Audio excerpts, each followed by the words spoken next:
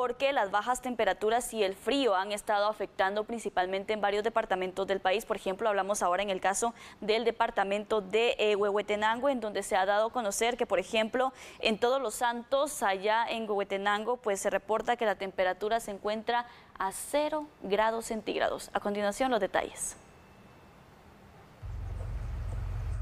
Amigas y amigos, nos encontramos en la aldea Chalhuitz del municipio de Todos Santos, Cuchumatán, en un panorama impresionante, un frío increíble a menos cero grados en la cumbre más alta de Centroamérica.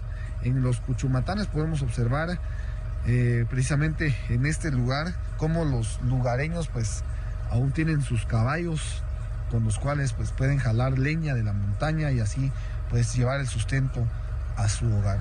Los pastos se han cubierto de escarcha, hielo, porque acá la sensación térmica pues es, pues eh, supera los, los grados bajo cero. En el departamento de Huehuetenango reporta Daniel Méndez.